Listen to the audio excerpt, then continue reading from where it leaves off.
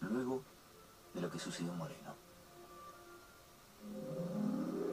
Realmente volver a compartir con ustedes que vuelven los préstamos ANSES, porque realmente han sido una herramienta muy buena. Recién hablábamos con ustedes, lo que, fue para ustedes dos, los préstamos ANSES, ¿no? Para arreglar el- esa habitación que tenemos problemita, o un escape de gas como le pasó a la vecina, o completar el fondo de la casa, o darse algún gustito también, ¿no? Porque a veces hay una cosita pendiente. La vecina tiene escape de gas por el culo y entonces eh, hacemos los premios Esfinter que son María Elena Rodolfo Walsh que vienen a, a- a instalar el eh, nacionalismo socialista de Puerto Rico en Argentina porque somos un país caribeño.